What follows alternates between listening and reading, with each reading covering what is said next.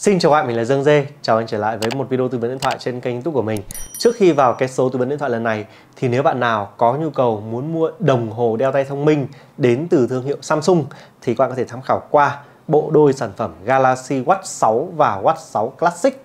Đấy, đang được bán tại Hoàng Hà Mobile với mức giá dao động vào khoảng 7 triệu đến à, 9 triệu rưỡi. Nói chung ấy là cái mức giá này nếu mà so với cả Apple Watch thì mình thấy là rẻ hơn rất là nhiều rồi đấy. Đó, và uh, Galaxy uh, Watch 6 thì mình thấy là nó có một số những ưu điểm. Đấy là nghe gọi rất tốt các tính năng đo tập luyện là cực kỳ chuẩn. Viền màn hình thì mỏng. Riêng đối ở phiên bản classic ấy, thì chúng ta sẽ có thêm một cái vòng bezel để chúng ta có thể xoay được. Cái đấy thì mình thấy là nó cũng khá là tiện đấy. Rồi tuy nhiên khi mà mua Samsung Galaxy Watch nhá thì chúng ta phải cần phải chú ý như này này. Đấy là cái thứ nhất là nó không kết nối được với iPhone và thứ hai nữa đấy là pin của nó yếu như Apple Watch đấy đấy là hai cái điểm mà chúng ta cần phải chú ý. Tiếp theo đó là về size mặt thì sao?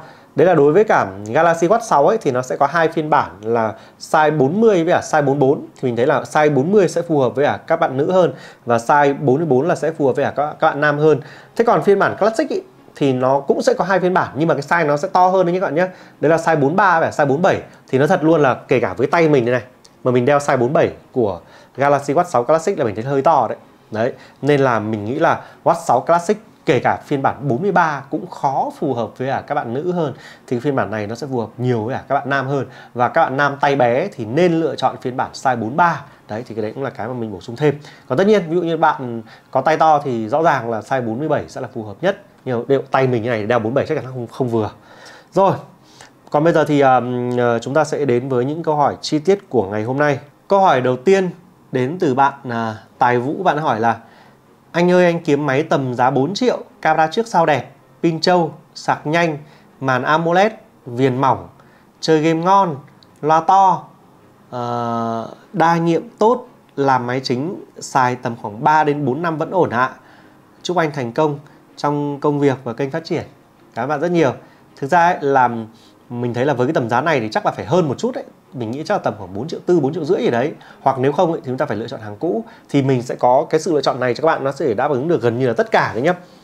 Đấy là uh, Realme 10 Pro Plus. Chiếc điện thoại này có cả camera trước lẫn camera sau đều đẹp và chụp ảnh của nó giao diện rất giống Oppo luôn. Bởi vì Realme là thương hiệu con của Oppo. Pin 5000 là mình đánh giá là đủ tốt rồi đủ trâu rồi. Sạc của nó thì rất là nhanh.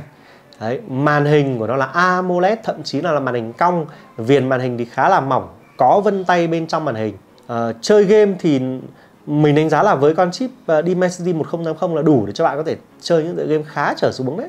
Loa có loa kép luôn đủ to. Đa nhiệm thì ở trong cái tầm giá này nhá khó có thể đòi hỏi là đa nhiệm nó phải rất tốt được. Nhưng mà như con Redmi 10 Pro Plus là đủ rồi.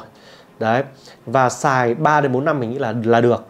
Còn lại thì ờ, lúc đầu mình định nghĩ đến một số những cái điện thoại Xiaomi khác ở trong cái tầm giá này. Ví dụ như là Redmi Note 11e Pro đấy 11e Pro thì uh, mình thấy là cái viền màn hình của nó thì không được mỏng cũng như là cái camera trước sau của nó thì không được mức độ đẹp.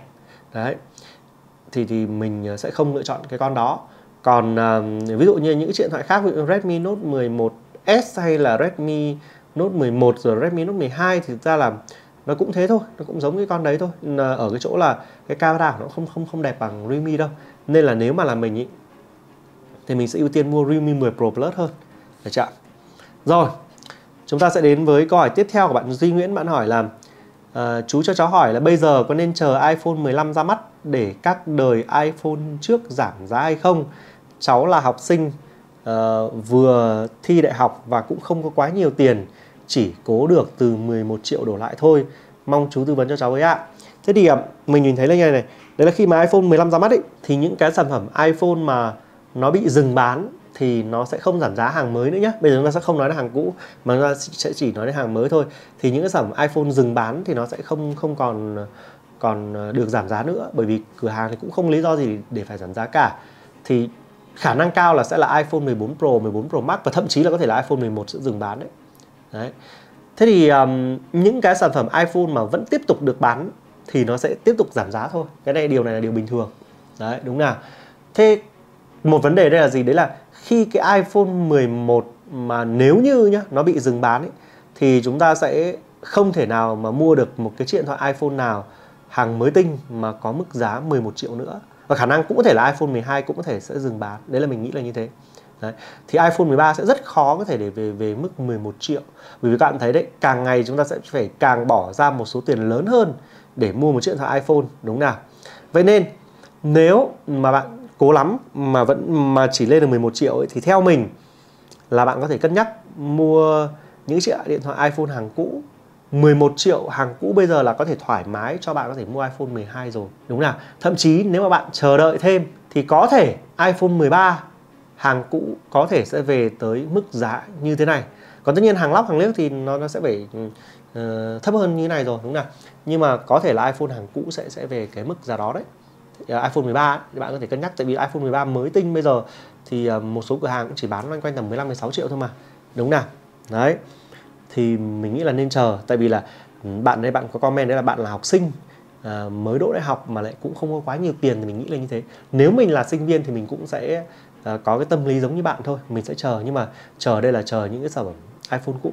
Còn nếu mà bạn vẫn thích iPhone mới tinh ý, thì theo mình khi iPhone 15 ra mắt bạn ừ, có thể cân nhắc mua iPhone 11 nếu như nó dừng bán.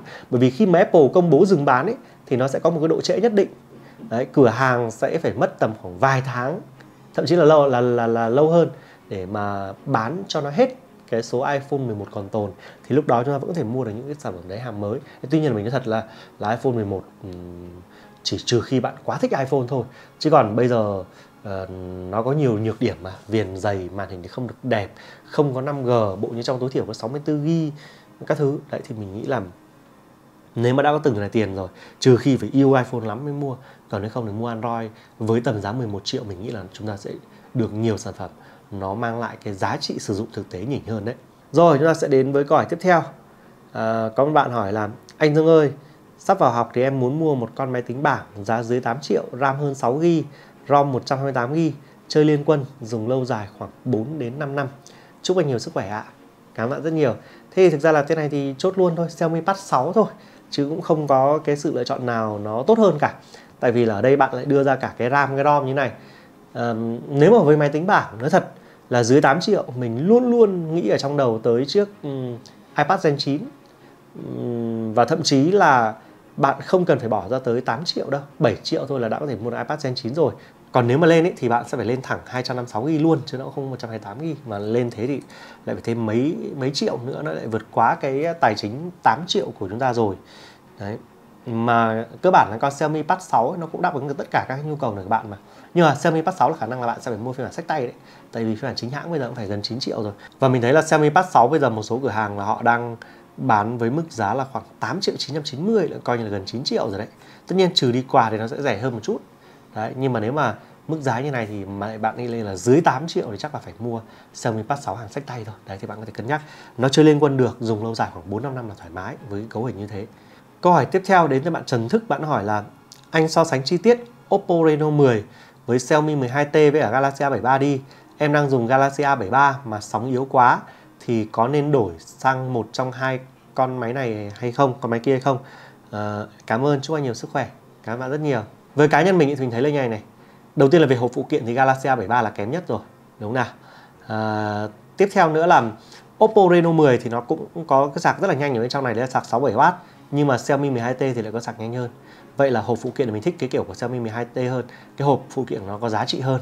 Đấy, phụ kiện đặc biệt là phụ kiện. Thiết kế đẹp hay xấu tùy thuộc vào mắt mỗi người. Tuy nhiên là với mắt mình thì mình thấy là thiết kế của Oppo Reno 10 là đẹp nhất. Về phần um, màn hình thì um, mình sẽ lựa chọn Xiaomi 12T tại vì là màn hình của nó có độ phân giải rất là cao. Lên tới là gần 1,5K cơ độ chi tiết cũng rất là tốt. Về phần hiệu năng thì rõ ràng là là, là Xiaomi 12T là tốt nhất rồi. Nhưng mà về camera thì mình đánh giá là Oppo Reno 10 sẽ là cái sản phẩm mà có camera ổn nhất và đa dụng nhất bởi vì nó còn có cả thêm cả camera tele. Xóa phông thứ con này rất là ngon. Về pin thì cả ba sản phẩm đều à, có viên pin xem xem như nhau. Đấy. tuy nhiên là Galaxy A73 thì sẽ có sạc kém nhất, Oppo Reno 10 thì có sạc 67W là ở mức độ vừa phải. Còn sạc siêu siêu nhanh thì sẽ là Xiaomi 12T còn về các yếu tố khác nữa, ví dụ như là loa ngoài là loa kép thì à, cả ba sản phẩm đều có. Về thương hiệu rõ ràng là Samsung sẽ là tốt nhất rồi. Đấy, mình luôn luôn đánh giá Samsung là tốt nhất. Và về kháng nước kháng bụi thì là Galaxy A73 đấy, là sẽ có kháng nước kháng bụi thoải mái luôn đấy. Như vậy thì nếu bạn cần một chiếc điện thoại có thiết kế đẹp có camera đẹp có màn hình cong các kiểu thì bạn sẽ lựa chọn Oppo Reno 10 nếu bạn cần một cái chiếc điện thoại có màn hình độ chi tiết cao hiệu năng tốt thì bạn sẽ lựa chọn Xiaomi 12T nếu bạn cần một chiếc điện thoại có kháng nước kháng bụi và thương hiệu phải phải ngon thì bạn sẽ lựa chọn Galaxy A73 đấy nhưng mà ở đây là bạn đã lựa chọn Galaxy A73 rồi đúng nào và bạn cảm thấy là sóng nó yếu thì các bạn có tưởng tượng là sóng mấy điện thoại Trung Quốc sóng nó mạnh lắm nên là không phải lo đâu. Còn lựa chọn giữa Reno 10 hay Xiaomi 12T thì bạn sẽ cân nhắc xem là bạn bạn bạn cần hiệu năng hơn hay là bạn cần thiết kế về camera hơn. Đó thì bạn có thể cân nhắc. Và chúng ta sẽ đến với câu hỏi cuối cùng của ngày hôm nay. À, bạn Linh vui có hỏi là chào anh Dương tài chính em có khoảng tầm 6 triệu. Em đang tính mua GT Neo 3 anh cho em hỏi tầm giá 6 triệu thì có máy nào ngon hơn hay không? Mong anh tư vấn. Chúc anh sức khỏe. Cảm ơn bạn rất nhiều. Với cá nhân mình thì mình thấy là như này này. Cái GT Neo 3 là một cái chiếc điện thoại rất là toàn diện ở trong cái tầm giá này rồi. Đấy nếu mà nói là để ngon hơn tất cả so với GT Neo 3 thì thực sự là rất là khó. Ví dụ như là um, mọi thứ của nó nhá mình đều đánh giá là chấm là ví dụ như tầm khoảng 9 điểm. Đấy, ví dụ như là sạc của nó là sạc 80W thì ở trong cái tầm giá này nhanh nhất thì cũng chỉ tầm cỡ tầm 120W là cùng thôi hoặc là ví dụ như 150W các thứ. Nhưng mà 80W thì cũng đã là quá quá nhanh rồi. Mình chấm được từng đấy điểm rồi. Đúng nào? Hay là thiết kế thì cũng trẻ trung rồi, viền mỏng như thế này là cũng ok rồi. Hay là màn AMOLED 120Hz các thứ, hiệu năng thì cũng là Dimensity 8100 rồi. Có chăng thì mạnh hơn tí thì sẽ là 8200 Ultra hay là Snapdragon 7 Gen 2 các kiểu. Nhưng mà như thế này cũng đã là, gọi là, mạnh lắm rồi. Đúng nào? Mình nghĩ là nếu mà bạn cần một chiếc điện thoại đồng đều thì GT Neo 3 là hợp lý nhất rồi. Đấy, ở trong tầm giá 6 triệu bây giờ nên mua. Chỉ sợ là sợ nó cũng sắp hết hàng thôi bởi vì GT Neo 5 là đã có rồi mà. Rồi và như vậy là câu hỏi vừa rồi là câu hỏi cuối cùng kết thúc số tư vấn điện thoại ngày hôm nay. Cảm ơn bạn rất nhiều vì đã dành nhiều thời gian theo dõi video của Dương Dê. Bây giờ thì xin chào và gặp lại. Bye bye.